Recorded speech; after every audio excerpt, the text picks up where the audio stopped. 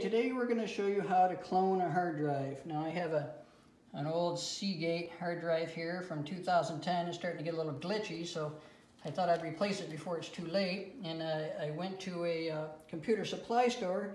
And the guy tried to sell me another one exactly like this, and I looked at it, it said 2009 on it. And uh, he wanted 60 bucks for it. Well, I, and then he wanted $75 to clone the hard drive. So I went online to Best Buy, and, and lo and behold, for $54, I can get a 500 gigabyte hard drive with WD Blue here uh, for $54. And then uh, instead of paying him $75 to clone it, I bought my own StarTech duplicator to clone it with. And it was only $65, so it was cheaper to do it myself. And it seems like you can't trust anybody, but I'm gonna show you how to do this real quick. It's, it's simple.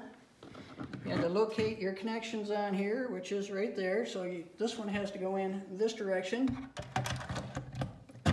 Make sure it's clicked in there. And then this one is a little bit different. This one has to go in there this way. And then you simply come down here, press and hold clone until all the lights blink amber and then let go. And that's all there is to it. Now this thing says 25%, 50%, 75%, and 100%. And when it gets done, it'll be 100%. You won't hear you making any noise anymore, and you'll be able to pull it out and you're good to go. So hopefully this thing fires up and isn't junk and I'm too late, but it's that simple, folks. So don't let the uh, computer tech guys rip you off. Do it yourself. Hope you enjoy the video.